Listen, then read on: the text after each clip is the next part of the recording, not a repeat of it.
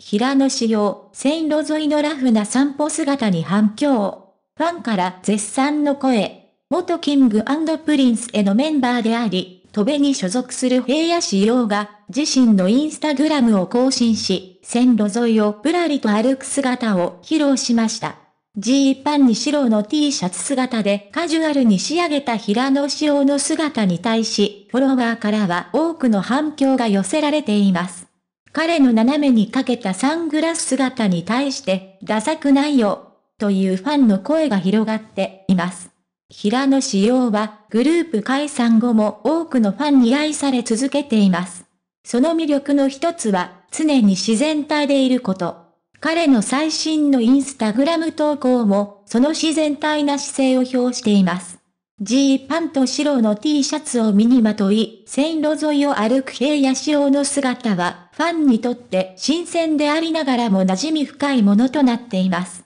投稿された写真や動画を見ると、平野仕様は、レモネードの後の散歩。東京で地上走ってる電車見れる方がレアじゃない？あれ、俺だけ？ショー、とコメントしています。彼の自然な笑顔が投稿には溢れており、フォロワーたちもその笑顔に癒されているようです。特に、平野仕様が斜めにかけたサングラス姿が話題となっています。あと4枚目サングラス斜めってない？あれ、ダサくない？ショー、と問いかける平野仕様の率直な言葉に、フォロワーからは、大好きな背中、うん、ちょっと斜めってるけどそこがまた良い、ダサくないよ、お散歩してるみたいぶらり平野さんや、もう変な錯覚してしまう最高だ、ねなどの声が殺到しています。平野仕様は常にファッションにもこだわりを持ち、その個性的なセンスでファンを魅了してきました。